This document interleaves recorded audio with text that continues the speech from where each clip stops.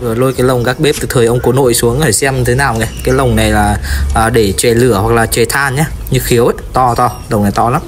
Bây giờ sẽ lấy máy rửa xe để rửa thử xem nó còn à, ngon không nhé. Rửa xong rồi mình sẽ bật tất cả các chế độ của lồng lên xem à, nó còn à, dùng được không nhé. À rồi. Bây giờ sẽ thử à, xem có dùng có ok không.